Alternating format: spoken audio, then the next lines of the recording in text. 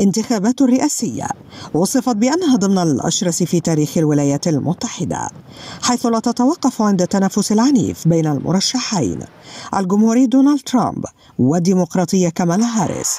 بل في حجم القضايا والتحديات الداخلية والخارجية غير المسبوقة التي تواجه الولايات المتحدة في الوقت الحالي. فالرئيس الأمريكي الذي يتولى منصبه في أواخر يناير 2025 لن يحتفل بفوزه بكرسي البيت الأبيض طويلا. نظرا لقائمة الأعمال والقضايا التي تحتاج لحلول جذرية فعالة وسريعة. فعلى المستوى الداخلي الأمريكي. يجد الرئيس الأمريكي الجديد نفسه أمام عدد من التحديات التي تشغل الرأي العام الأمريكي. بداية من الاقتصاد الأمريكي بما يتضمنه من مواجهة التضخم وارتفاع أسعار تكلفة المعيشة ونسب البطالة العالية وصولا إلى قضية الهجرة غير الشرعية والعدالة الاجتماعية وقوانين الصحة العامة وذلك مرورا بميزانية التسليح وزيادة وتيرة الإنتاج.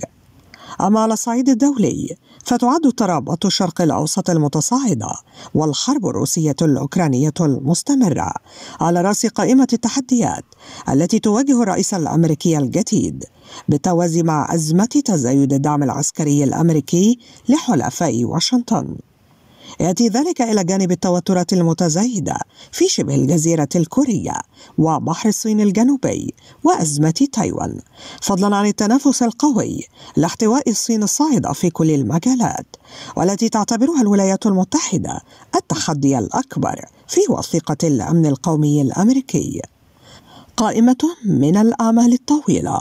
تبدأ في اللحظة الأولى التي تلي حفل تنصيب الرئيس الأمريكي في العشرين من يناير 2025 والتي تكشف كل قضية منها عن سياسة أمريكية تدوم لمدة أربع سنوات.